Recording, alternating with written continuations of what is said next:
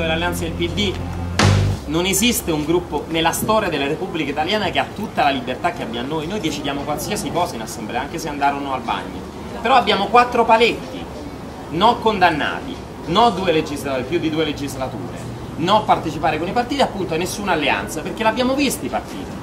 E se da un lato qualcuno sarebbe stato contento uh, se, se, noi avessimo ribadito fatto un'alleanza col PD, vi ricordiamo che non ce l'hanno mai chiesto a Bersani, perché poi Bersani mi dice non lo raccontare, eh, io no, assolutamente non lo racconto, e lo racconto immediatamente. Mi ha detto l'altro giorno che, che, che sì, lui voleva fare il governo del cambiamento, eccetera, eccetera. Io, io gli ho detto, Bersani, tu ci hai presentato 8 punti fuffa, la, lascia perdere, lascia perdere, lascia perdere.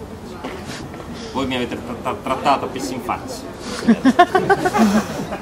Io gli ho detto veramente no, io avrei fatto molto di peggio se ci fossi stato io. Gli avrei ricordato tutto, a cominciare dai 98.000 98 euro che ha preso da riva dell'Ilva e che ci deve ancora giustificare. Però gli ho anche detto tu ci avresti potuto veramente mettere in difficoltà.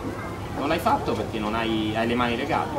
Pensate se ci avesse detto noi in, in, cinque, in 50 giorni votiamo subito l'ineleggibilità di Berlusconi si può fare in virtù di una legge del 57 quindi non in virtù della condanna adesso, di una legge che è stata eh, approvata nel 1956. Poi facciamo subito un reddito di cittadinanza e subito una legge sul conflitto di interessi.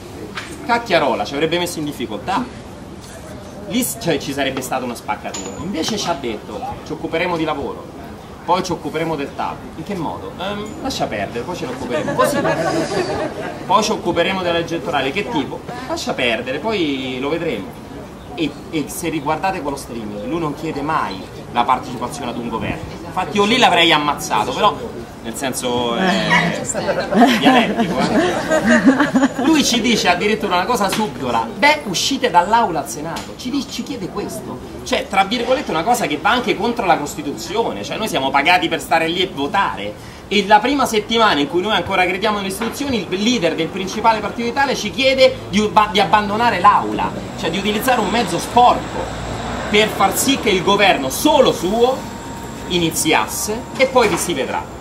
Ora abbiamo visto quello che Perché tutto?